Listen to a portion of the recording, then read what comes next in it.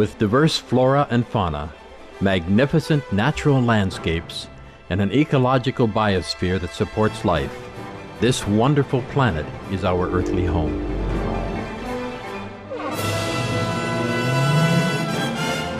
From our animal co-inhabitants to the lush rainforests and life-giving soil, we cherish all these as gifts from the Creator.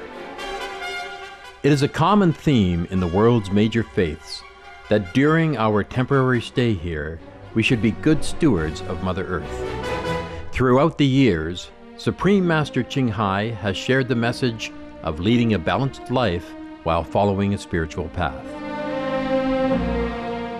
Not only must we nourish our spirits, but we share the responsibility to care for nature and our fellow beings.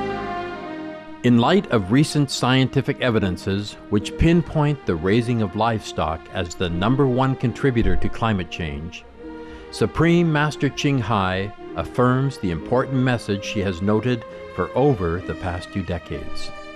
We must be vegetarian, meaning an animal free diet, and practice sustainable living. Today, we present to you part six of a 14 part series titled The Secrets of Venus. A discussion by Supreme Master Ching Hai with Supreme Master Television staff concerning the detrimental impacts of the meat diet on human health, the environment, and ultimately the health of our planet as well as other planets. We always have to be thankful to the sun and the moon and the stars. They're all great beings, all great beings. They're there to make us happy, happy, yes. And remind us of the glories of heaven, glorious heaven, yeah, shining, beautiful heaven. Thank you, Master. Welcome, love. Hi, Master. Mm. Yes? Um, Hi. Hi. Uh, Hey. Thank you for talking about the sun. Actually, um, I'm. I really enjoyed watch the sunset. Yeah, that's good. Sunset and sunrise is a good time to watch, not midday. Yeah. And one time I had um, an experience. We were watching the sunset, and suddenly I tell her, "Ah, did you did you see that?" And she said, "Yes, they are telling us hi." Yes, It was like seeing all the hands saying hi, hello. yes, tell you they're loving and they're kind. They bring us happiness yeah. all the time, all day, all night, 24 7. Yes, that's true. It was very beautiful. Yes. Yeah. So kind. Yes, so kind. Yes. Ah, good, huh? I have proof now, eh? yes. And I have some questions about UFOs. tell me. I'm Supreme Master TV. We heard the news about how more people are reporting UFO sightings this year. Uh, why is that? Ah, because they worry. This UFO, they came from us. I told you there's some more advanced beings that live underground. Yes, I told you long, long, long, long time ago, no? Yes, yes. They came from down there and came up because if our planet is in trouble, say like engulfed by gas and all that, they will also be in trouble. Maybe lesser degree. It depends on how much trouble we have in here. They will have also problem down there. So these uh, UFO are homemade, huh? Oh. And are there UFOs from Venus who come to visit us? No. No, they're not interested. Oh. Are there Yeah. many UFOs from the people underground? Yeah? Do they have a message for us? Oh, they do. They do. Um, well, I guess I have said somewhere before, but of course they wish that we have peace with each other. Yes. And with all beings all around us. Because that's the only way to live our life. Yes. But of course, they cannot interfere. Huh? They know the karmic consequence. They know the karmic pattern that whatever we have done, we will have to pay for it, good or bad. So they will only stand by and watch. Yeah? Mm. Yes. All right. Thank you so much. Are you happy with my answer? Yes. I am. Thank you so much, Master. And you always more beautiful. Mm, you are beautiful, and you guys get more, you know, like well kept and full, yeah, and happier. Yes. Yes, we are very Yes. happy, Master. Thank you so yeah, I'm glad you're happy there. All of you are good, good. Try so hard to work. Thank you so much. You're welcome, love. You're welcome so much.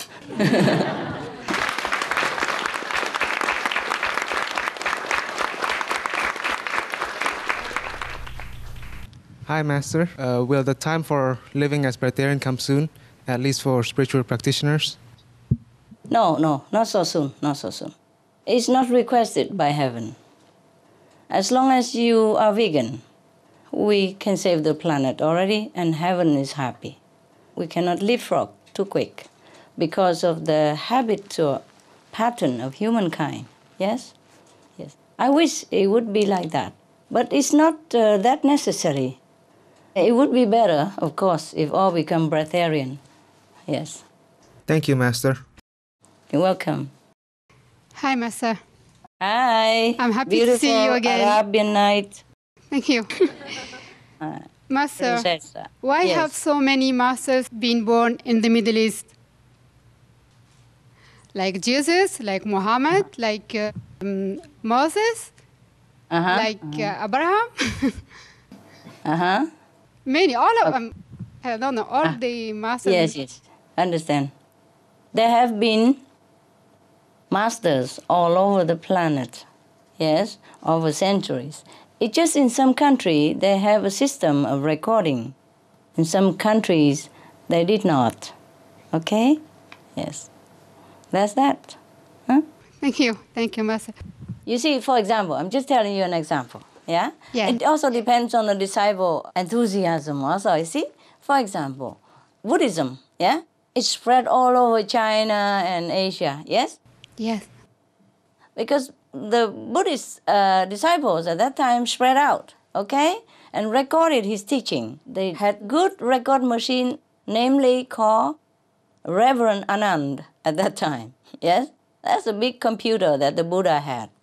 So he recorded all the teaching of the Buddhas and then uh, store it in India where there has been reverence and respect for spiritual masters. So they keep it well at that time. And no war, no destruction, you see? So they can keep all these records. And later on, they spread, some of them go to China. And then the Chinese has a monk called Xuan Zhuang. And he happened to be a prominent monk. Namely, he was a brother, not blood brother, not biological brother, but sworn brother of the king at that time. So the king sent him to India to request all this beautiful sutra that has been housed in India at that time. So Xuan Zhuang was also lucky, went through all over in peaceful country, and of course had the blessing of the king and had his power. So he was successful in bringing back all the Buddhist sutra and translate it into Chinese. And of course, China was a powerful kingdom. And of course, the king believed in Buddhism. The whole country believed in Buddhism. Yes? And then from China, it spread all over. China at that time, it's like the main kingdom for all the country around. All the country around China has to offer their tax or everything every year and had to recognize China as the main power, as a big brother power. You see what I mean? Yeah. Therefore, Buddhism spread all over, huh? Where else? for example, Jainism or Sikhism doesn't spread anywhere. Not because Sikhism is inferior or Jainism was inferior to Buddhism. It just has no instrument. You see what I mean? Yes. Yes. Or might not have enough disciples to think of to go, you know, the situation is different, the development is different. Therefore, you see, Jainism is exactly just like Buddhism. Yes? Sikhism also help people to do good. We know that because I told you guys to give the extract of the different religious teachings so that people can have a comparative study through our television. You know that, yes? Yes. So for Jainism, Buddhism, Sikhism, they are the same. The main principle is the same. But Buddhism spread all over Asia. Jainism didn't. Sikhism did not too, not too much. You see what I mean, honey? Yes, Master.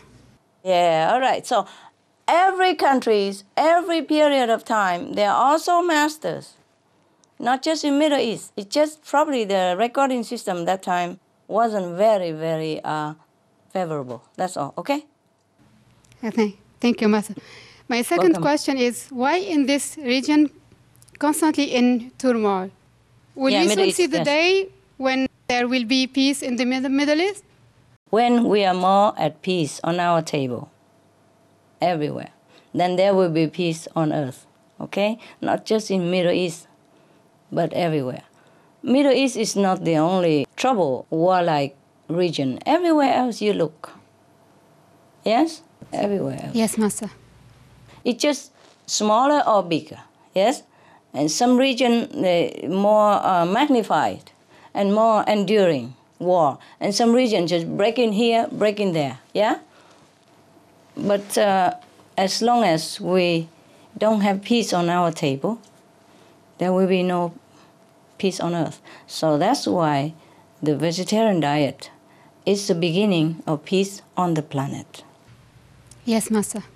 Yes, I wish your country all the best, though. Of course, you know that. I'm trying my best.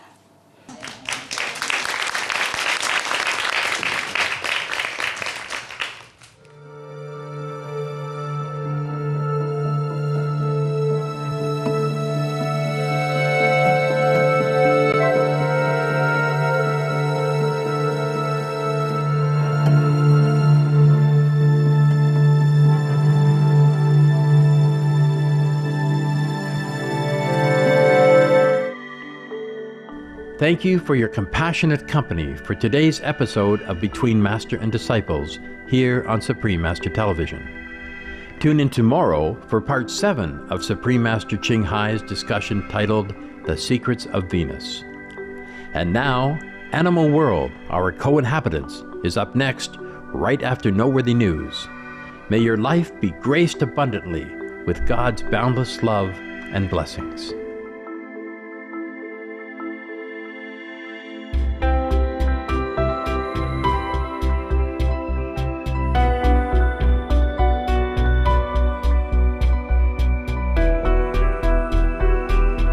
For more details, please visit www.suprememastertv.com forward slash BMD